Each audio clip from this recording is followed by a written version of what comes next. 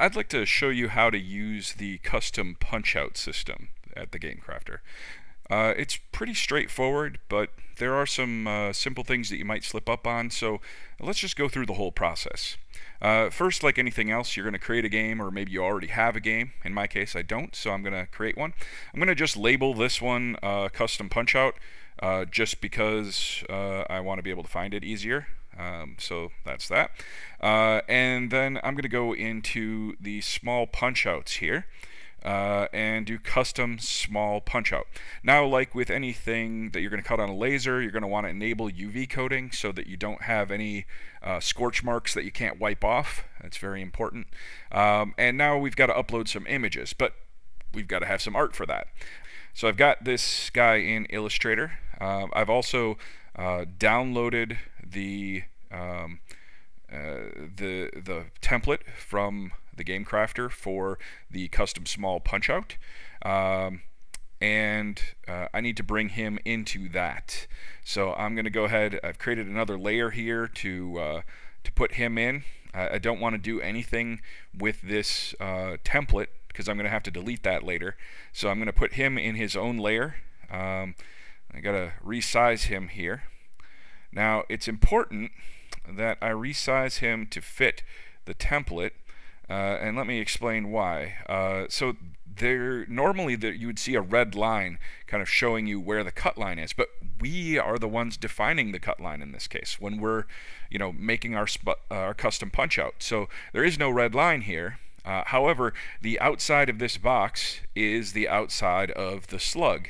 Uh, and for this custom small punch out, there are 10 slugs on a sheet. So I could have 10 of these on a sheet if I wanted to. Or I could have, you know, because of mix and match, I could have, you know, this monster and some uh, chits or something along those lines. Um, now I want to rename this layer. I'm going to name this uh, face. Uh, and I also, I need to um, duplicate him. I'm going to go ahead and create a another layer uh, called back. Let's go back to the face and uh, let's um, talk about the borders just a bit. Now I've I've resized him to be inside uh, the blue border right here. So we've got the blue dotted line and a blue dotted line over here. And I've pushed him in quite a ways here because my cut line is actually going to go outside. I want to make sure I don't cut off his fingers or anything. So my cut line is actually going to end up out here. And ideally you want your cut line to be inside the blue uh, dotted line as well. So that's why I've resized him to that size. Uh, anyway, so uh, go ahead. Let's go back to what I was doing. Now it looks like he's got a back. Uh, he's facing two different directions. So if I turn off the back, you can see the face. If I turn on, the, you know, back and forth like this. So uh, now we've got a guy, I can see what direction he is facing. So that's pretty cool. Uh, obviously, we also need to uh, create a cut line. So I'm going to lock the back, I'm going to create another layer here, uh, and call that one cut. Uh, and now when you do this, I've hidden the back. I'm going to trace around the face. Uh, the game crafter is expecting you to create a cut line that traces around the face of the object, and it will automatically mirror it for the back. So um, uh, let's go ahead and do that. Let's see here. Want no fill, uh, and I'm going to go with a red cut line, although the color's not really relevant here. Just easier to see where I'm cutting. Uh, I'm going to use the pencil tool again. Uh, so we'll go up here and I want to give this wide berth. I want to make sure I'm not cutting off any fingers or anything like that. So I'm going to give him wide berth and uh, just kind of trace around um, generally his uh, shape. Uh, so I'm going around here, again, giving wide berth, don't want to cut off any fingers, don't want to get outside the blue line either though. So going like this, up around his horns, uh, around his head, around the horn again, come down here, and back around his hand. Um, okay, so I've got this pattern traced out. Uh, now, what you want to do is you want to go to object path join again and make that all one big shape. Now the reason we want to use a, a full shape is so that we can actually use um, the Pathfinder um, to uh, start dividing this object up into multiple pieces. So uh, why do we want to do that? Why do we want to divide this object? Um, well, let me hide these layers right here, and you'll see uh, the template says to prevent the cut pieces from falling out of the slug, all cut lines must have at least two nicks. A nick is a break in the cut line that keeps uh, the piece attached to the slug. The recommended size for this is 0.01 inches. Um, so, uh, if we just had the cut line here, uh, this, uh, you know, the monster piece would uh, inevitably just fall out of the slug, which may or may not be a big deal um, if it's a really big piece like he is. But if it's a small piece, it can actually fall down into the machinery and be lost. And so uh, if you value the game components that you're asking us to cut out for you, then make sure you put nicks in here so that none of the pieces fall out into the machine and get lost. Uh, if they fall out, we're not going to go digging for them. They will not end up in your game, so just put in nicks. Now, how do you go about doing that? Um, it's actually pretty straightforward. I'm going to go ahead and turn off everything that is not the cut line to make this really easy to see. So here's our cut line. Uh, I'm going to blow it up a little bit here. Uh, and what I want to do is create a box. Uh, we'll do 3 inches by 0.01 inches. Again, this is uh, so that we can build our um, nicks into this thing. Um, I'll just change the color. This isn't technically necessary, but I'm going to change the color just so you can see that we've got uh, our box here that we created. And I'll change the uh, line weight on the box too, just to make it uh, clear that it is a box. Uh, so we've got our box here that is intersecting uh, with uh, the um, uh, shape. Uh, and then we also, you know, we have those lines. And then I need to, what I need to do is use something like the Pathfinder tool, or I can go up to Object and Path, divide objects below. And so what that did is it just cut this thing into three pieces. So there's this piece here, a really thin piece down here uh, and I'll just go ahead and um, use my direct selection tool and highlight that and um, you can see there's this is a piece in the middle there. Um, and then we've also got the third piece up here. Uh, but we also I want to put more than just two nicks into this thing. It's kind of a big object. So I want to put a nick on the top and the bottom as well uh, so I'm going to go ahead and do that again, but I'm going to reverse it. Uh, we'll go with 0.01 on the top, 3 inches on the bottom for the height. Uh, and again, we're just going to put that right through here. Uh, and I'm going to go um, object, uh, and then we go to path and divide objects below.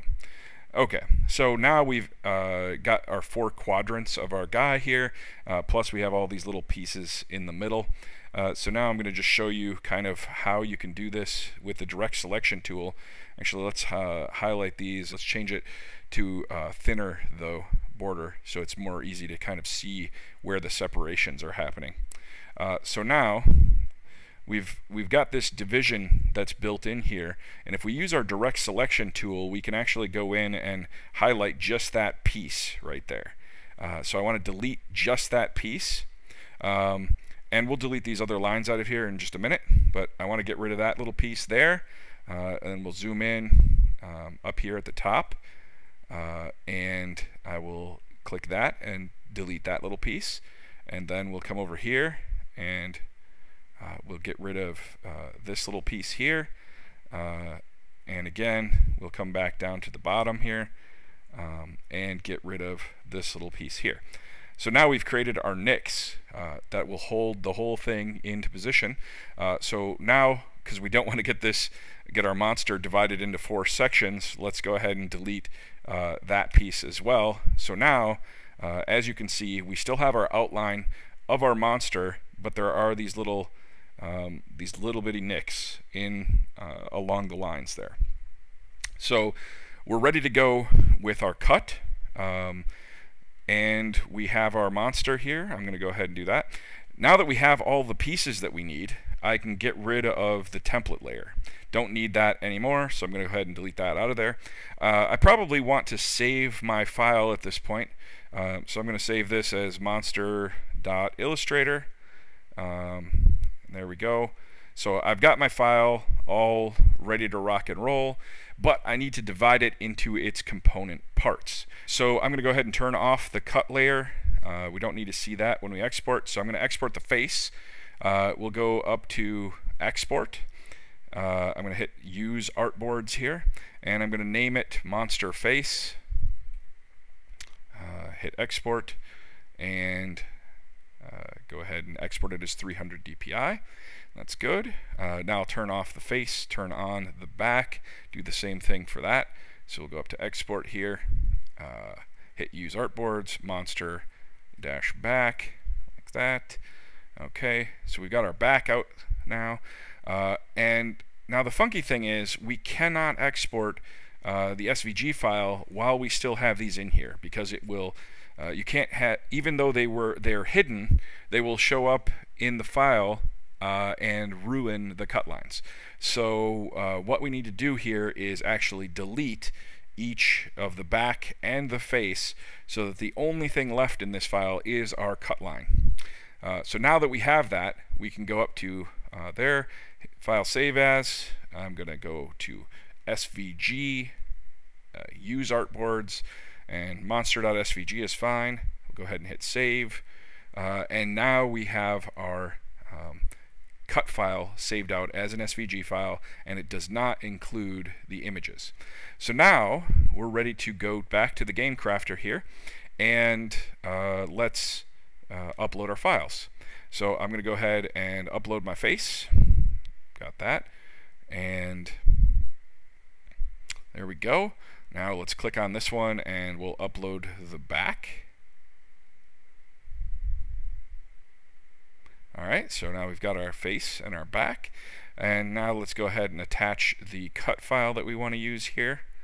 Um, okay, so now the system is asking us what is the DPI of the export. Uh, different programs use different um, uh, what are called user units. You might think of them as pixels. Um, and so this is just uh, how long is each pixel or user unit, or how many of them are in an inch. Um, uh, in the case of uh, Inkscape, it's actually 25% longer than Illustrator. They use 90 user units in an inch. Uh, so uh, in this case, we're using Illustrator, so I'll type in 72 here. But if I was using Inkscape, I'd put in 90. If I was using a different program, I'd have to find out how many user units or pixels there are in an inch in that program when it exports to SVG. Uh, so we said 72 here. Uh, so we've uploaded it. There's our cut file. Uh, so now I want a proof, and you know it's showing there, and you can see the little nicks in there where it's going to leave uh, a little bit of material behind so that doesn't fall out. Uh, so I'm going to go ahead and approve that one and you can see that it reversed the image here so that it matches the contours of the image even though the image is reversed so I'm gonna go ahead and approve that one and now it's just like anything else on the game crafter if I want to set a quantity I want four of these monsters, so I just go ahead and set quantity, and I'm done. Um, I can just order this as part of a normal game like anything else. So that's it.